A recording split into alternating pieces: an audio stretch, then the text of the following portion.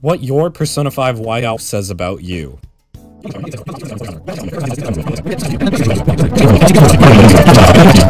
You probably look like this guy.